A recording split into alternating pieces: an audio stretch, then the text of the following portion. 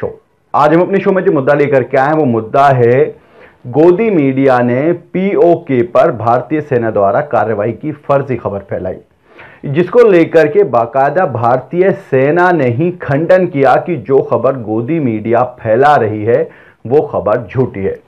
आज हम आपको दिखाएँगे गोदी मीडिया के कुछ पत्रकार जिन्होंने बाकायदा जम करके पोस्ट करना शुरू कर दिया। ना कोई खबर ना किसी तरह की कोई हलचल, ना किसी तरह की कोई कार्रवाई, लेकिन गोदी मीडिया के पत्रकारों को पहले ही पता चल गया कि कितने ठिकाने ध्वस्त हो गए हैं, कैसी एयर स्ट्राइक की गई है और क्या क्या हुआ है, सब कुछ उन्होंने अपने ट्वीट में बयान कर दिया। जबकि वहाँ पर एक चिड़िया ने भी पर नहीं मारा था। बाकायदा आर्मी ने खुद इसकी पुष्टि की कि यह खबर झूठी चल रही है।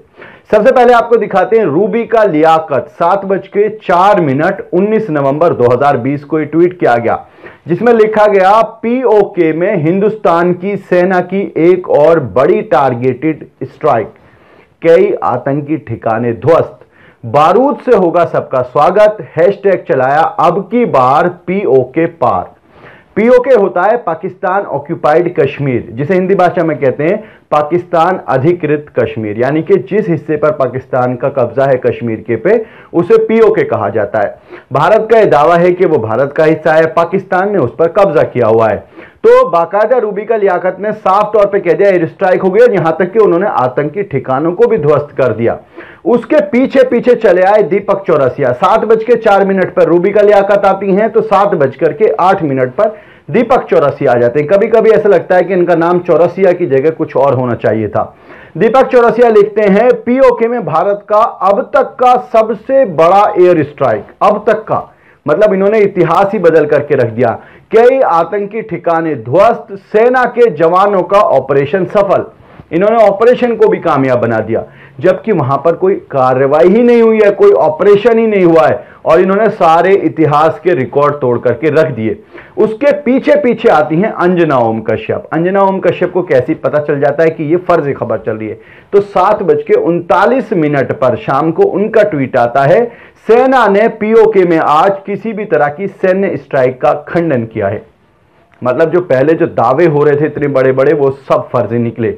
उसके बाद आता है, भारतीय सेना की तरफ़ से बाकायदा सफ़ाई। और इसको एएनआई ने ट्वीट किया, जिसमें बाकायदा जो भारतीय सेना के director general of military operation हैं, लेफ्टिनेंट जनरल परमजीत सिंह, उनके हवाले से खबर छापी गई, जिसमें कहा गया कि भारतीय सेना की पीओके में कार्रवाई की खबरें झूठी हैं। अब आप समझने की कोशिश कीजिए कि किसी तरह की कोई ड्रिल, कोई कार्रवाई नहीं की गई सेना की तरफ़ से।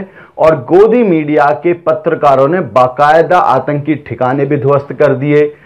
ऑपरेशन को सफल भी बना दिया। यहाँ तक के सबसे बड़ी, अभी तक की सबसे बड़ी एयर स्ट्राइक करार दे दिया दीपक चौरसिया ने तो। अब सवाल ये उठता है, ऐसे पत्रकारों का क्या होना चाहिए? इन पर क्या कार्रवाई की जाए? ऐसी कोई तरीका ऐसा है जिससे इनके मुँह पर बंदी लगाई जा सके कि कम से कम झूठ बोलना तो बंद कर दो आप लोग? क्यों देश को गुमराह करने में लगे हुए हो?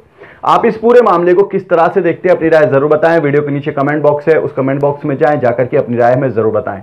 आज के इस एपिसोड में इतना ही। हमारी आपसे रिक्वेस्ट है, इस वीडियो को शेयर ज़रूर करें और हमारे चैनल को सब्सक्राइब ज़रूर करें और आप हमें सोशल मीडिया पर